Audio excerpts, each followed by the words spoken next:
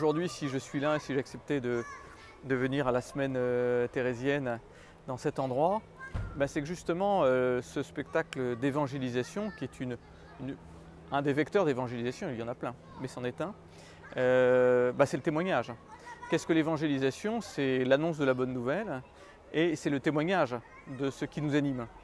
Euh, et donc, au-delà du spectacle lui-même, ma profonde conviction est que bah, le spectacle ne s'arrête pas maintenant, même s'il est terminé, on a fait deux saisons, qu'il continue, qu'il continue comment? Par le témoignage justement que l'on peut donner. L'annonce de la bonne nouvelle, euh, et Thérèse en est un, bon exemple, euh, peut se faire de multiples façons et que tout un chacun, là où il est, euh, bah, bah, peut s'y mettre. C'est pas réservé à une élite, c'est pas réservé à certaines personnes.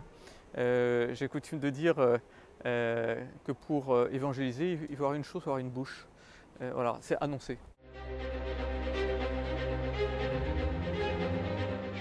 J'ai mis dans la bouche de certains des acteurs une partie, bien évidemment, de la spiritualité de Sainte Thérèse pour dire à quel point j'y étais attaché. Euh, parce que Sainte Thérèse, euh, au plus profond de son cœur, avait la mission.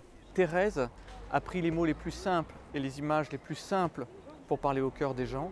Je pense par exemple à, l'ascenseur, je pense par exemple euh, à tout ce qu'elle a développé sur, et ce que j'ai repris du reste dans le spectacle, sur euh, les fleurs, sur la plus petite fleur des champs, sur euh, voilà, que toutes, toutes les petites fleurs, même les plus petites pâquerettes sont utiles.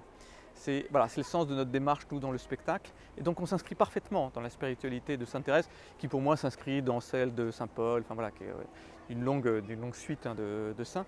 Mais pour dire à quel point euh, Sainte Thérèse a, a une place particulière pour nous, pour moi, dans l'évangélisation, au point qu'on a été la mettre dans le spectacle.